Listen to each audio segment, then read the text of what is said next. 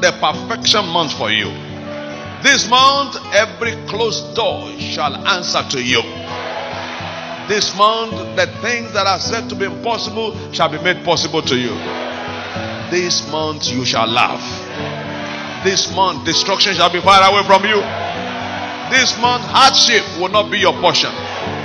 This month, people will come to rejoice with you. This month will be month of celebration for you.